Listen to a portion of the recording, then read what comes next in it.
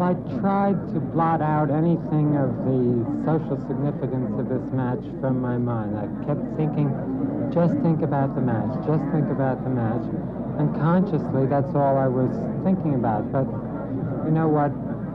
I might have been doing unconsciously, I really can't say. I, I know I didn't play as well as I can play, but how many people do under a situation where they're playing the Wimbledon champion for the first time in center court in Forest Hills on a very, very hot day. We're sort of looking forward to it because it was going to be something out of the usual, and uh, I've never had so much publicity generated by my opponent.